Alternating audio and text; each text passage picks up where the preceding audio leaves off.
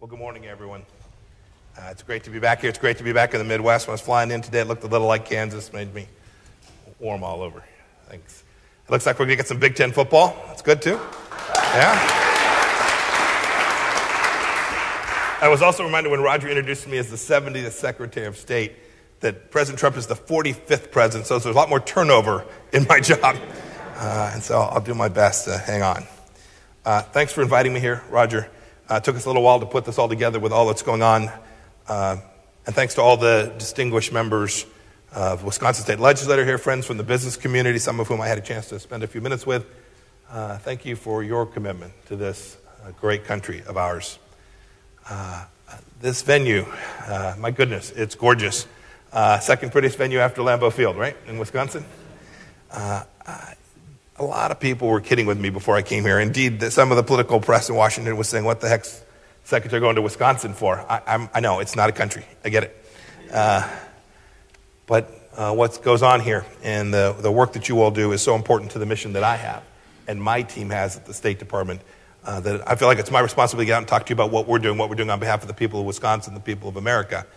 Uh, as Americans across the country, we're dealing with the pandemic uh, that was released from Wuhan. They've been worried about their lives, their livelihoods. Uh, Senator Roth got an email from Wu Ting, a, a, person who was the consul China's consul in Chicago. It landed in his email inbox. Ms. Wu stated that uh, she was responsible for China Wisconsin relations. Uh, the email included a draft resolution that she asked the senator to pass in this chamber praising China's response to the coronavirus. I want to just take a second to read a few excerpts. She wrote, Whereas China's action has been critical to the global fight against the epidemic, and China has adapted unprecedented and rigorous measures for disease control and prevention, whereas China has been transparent and quick in sharing key information of the virus with the World Health Organization and the international community. Roger, rightfully, thankfully, deleted the email. Thought it was a hoax. I can tell you that the description, how she described the actions that the Chinese Communist Party took in response to the virus, uh, were in fact all false. Of course, he got a follow up email. She helpfully attached a revised version of the proposed resolution. Uh, and Roger wrote a one word response. He said, nuts. That has a lot of American history, that word, and that response. And the chutzpah from an American who understood uh, what it is that's best, in the best interest of our country. Look, the Chinese Communist Party knew early on how virulent the coronavirus was that originated in Wuhan. They did what authoritarian regimes do they oppressed, suppressed information, they censored, they disappeared courageous whistleblowers and journalists who tried to sound the alarm all across the world. And they allowed people from Wuhan to travel to Italy and abroad. Ms. Ms. Wu was asking that we collectively whitewash the culpability for a global pandemic that's killed more than 200,000 Americans, now nearly a million people across the globe, and has sent the global economy into a tailspin. Roger didn't take the bait. Instead, uh, Roger presented a resolution stating that the Communist Party of China deliberately, intentionally misled the world on the Wuhan coronavirus. It's true. But here's my question, and here's where I want to uh, launch today. How many of you would have seen that and thought something different?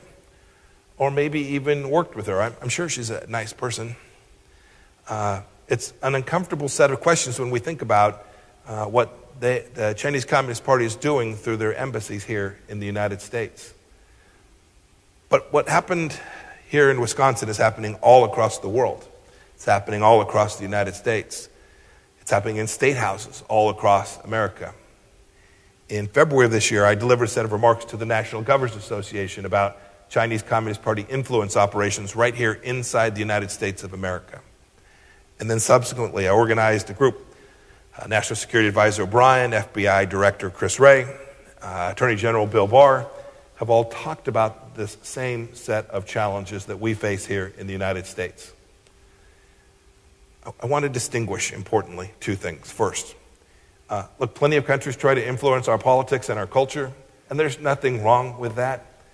Um, I'm not worried about the Alliance Francaise or the National Italian American Organization or an Irish group. They're fundamentally different than what the Chinese Communist Party is doing. It has a much more sinister view of this engagement. The party and its proxies aim to make Americans receptive to Beijing's form authoritarianism. Now, I, I use this language carefully. I talk about the Chinese Communist Party because I have a second distinction I want to draw, which is between that party and the people of China, between the leaders of China and those who want to live in China as free peoples, at peace and prosperity, and take care of their families in the same way that we all do here in the United States. Let me give you another data point on the Chinese Communist Party's aims. In August, General Secretary of the Chinese Communist Party, Xi Jinping, told a group of government economists and sociologists in Beijing, quote, we must actively develop cooperation with all countries, regions, and enterprises willing to cooperate with us, including states, localities, and enterprises inside the United States. As the Secretary of State and as the former director of the Central Intel- Intelligence Agency, uh, let me translate. Xi knows that the federal government is pushing back against the Chinese Communist Party here in the United States and its malign influence. And it sees that here in the United States and increasingly around the world, it can use subnational entities to circumvent America's sovereignty. He thinks local leaders may well be the weak link. For him, when he uses the word cooperation and opening up, he means that the Chinese Communist Party wants to create arrangements that benefit the Chinese Communist Party. We, we know this because for decades the Chinese Communist Party deployed friendly language while stealing from our innovators property, jobs, wealth from here in the United States. We know that they built their military strength and that they have co opted elites all around the world. Later, in that same set of remarks, General Secretary Xi said that in fact he explicitly confirms that the purpose of his entreaties, his outreach, is to put China in an undefeatable and invincible position. His words, not mine. The Chinese Communist Party views itself as the true vanguard of Marxist Leninist thought, which proposes that communist countries like theirs must struggle, must struggle and prevail against capitalist nations like ours. This isn't the Cold War. This is different in kind, to be sure. I was a young soldier. I patrolled the border between East and West Germany. This is different. It's why we have to have a conversation in our state legislators about this China and this China challenge. And it's important here in Wisconsin as it is in Washington. The good news. The good news is that they were starting to have these conversations all around America, and not a moment too soon.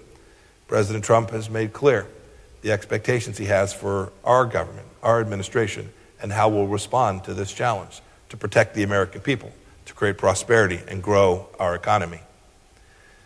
But we watch. We watch these CCP campaigns targeting state level officials, local interests. We've seen them at PTA meetings. They've been in full swing for years and they're increasing in intensity. Much of that activity revolves around pressing state governments not to recognize, trade with, or otherwise engage with Taiwan. But that's not all.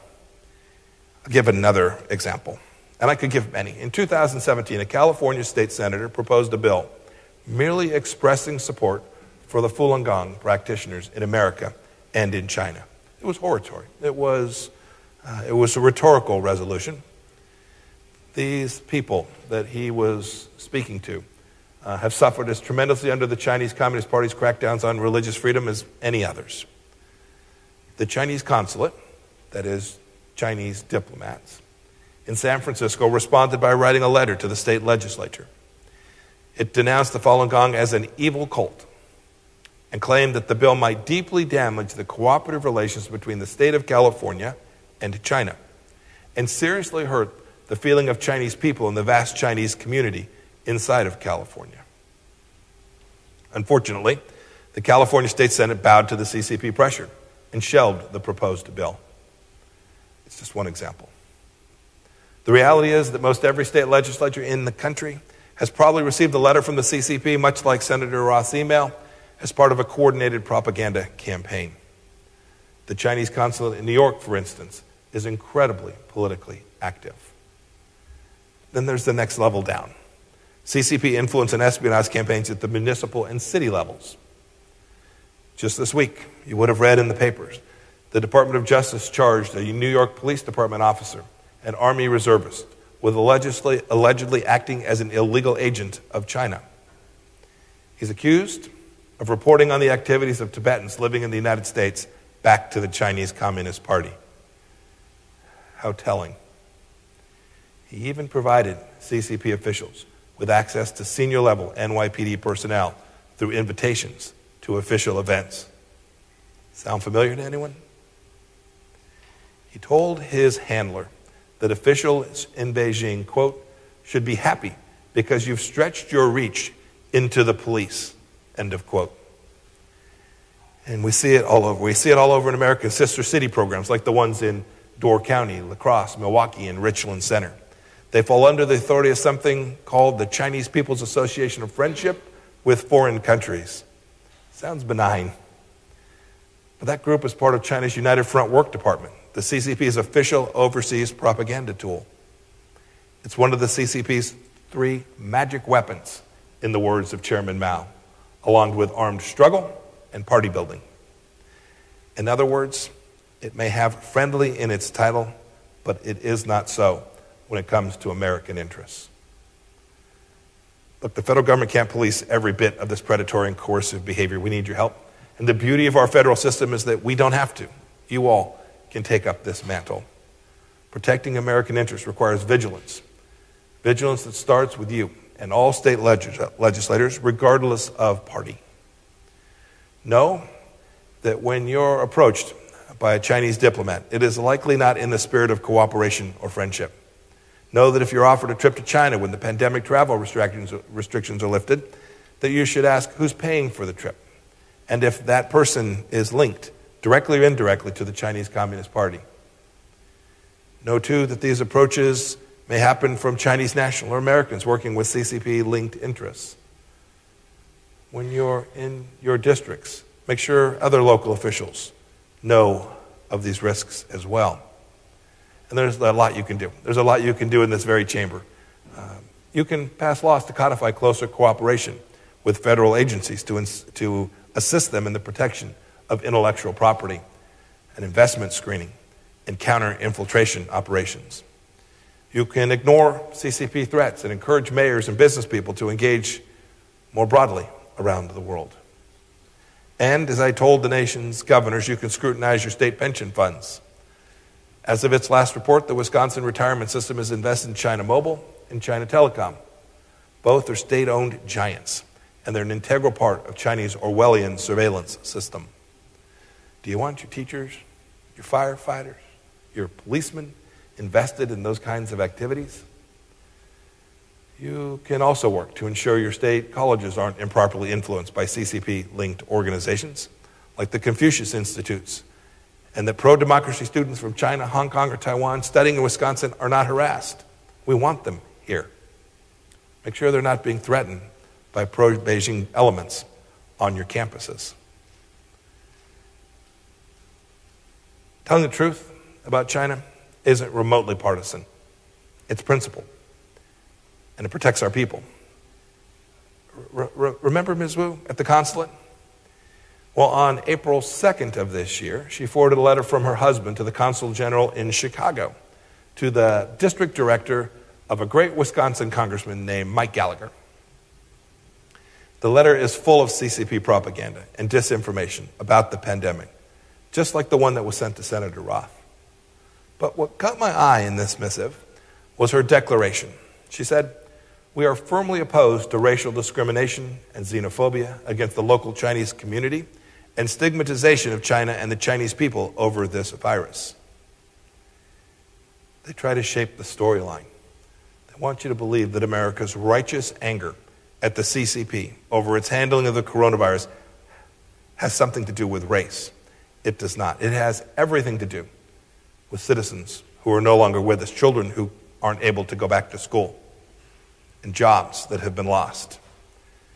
And importantly, the Chinese Communist Party knows this. The CCP thinks it can drown out American cries for accountability with shouts of racism. We won't let that happen. We can't. The CCP wants to foment the kind of strife we've seen in Minneapolis and Portland and Kenosha. That's disgusting. We can't let it happen. I'm confident it won't. I'm always an optimist about America. There's a reason that we remain the greatest nation in the history of civilization because Beijing's best laid plans are no match for American determination. The Trump administration rejects the idea that Beijing is destined for hegemony. No top down, totalitarian regime can ever best the ingenuity, will, power of the American people. We know that our system is more attractive to others. I see it wherever I go. People want to be connected to the United States of America. They want to join with us freely because they know that we too stand for freedom alongside them. And we're not going to allow the CCP to interfere in our domestic politics either. We put restriction on Chinese diplomats that mirror the ones American diplomats are subject to inside of China. It's remarkable. For years, our diplomats were, couldn't move around in Beijing, couldn't meet with local officials, while Chinese diplomats ran free all across our country. Fairness, reciprocity, equality, that's how diplomats will be treated in the Trump administration. We want to confirm American business is successful above all because of its moral standards. We've warned our businesses and universities to make sure that they aren't unwittingly supporting the mass human rights abuses happening in Xinjiang province right now, even as we're here together today. Right now, the FBI opens a China related intellectual property theft case about once every 10 hours. It's Staggering. We, the State Department, just revoked visas for about 1,000 Chinese nationals suspected of raiding our intellectual property on university campuses all across America. We want to make sure we protect our children from the CCP's malign influence. We formally designated the Confucius Institute's U.S. headquarters as a foreign mission and encouraged universities to shutter the doors on these programs quickly. And right now, the State Department is reviewing the activities of two United Front Work Department organizations operating inside the United States. One, the U.S. China Friendship Association, the other, the China Council for the, for the Promotion of Peaceful Reunification. These organizations include or have apparently attempted to exert influence on groups all across the public sphere, including in our schools and our business associations impacting local politicals, politicians, media outlets, and Chinese groups here inside the United States. We want to make sure that we get it all right, that we're fighting to protect our wallets, our hearts, our minds, and our freedoms. Each of us, each of us as public officials, must never be complacent or complicit in the CCP's campaign to fracture American society and to silence American voices. Every one of us, and I know you'll join me in this, must stand up for our sovereignty and for our American values themselves. Democrat, Republican, Independent, you have a friend in the Trump administration to help you push back against the CCP's exploitation of our open society. Let's do this together for the American people and the future of the greatest democracy in history. Thanks for letting me be with you today. I look forward to taking some questions from you. We can have a good discussion. May God bless Wisconsin and the United States of America. Thanks.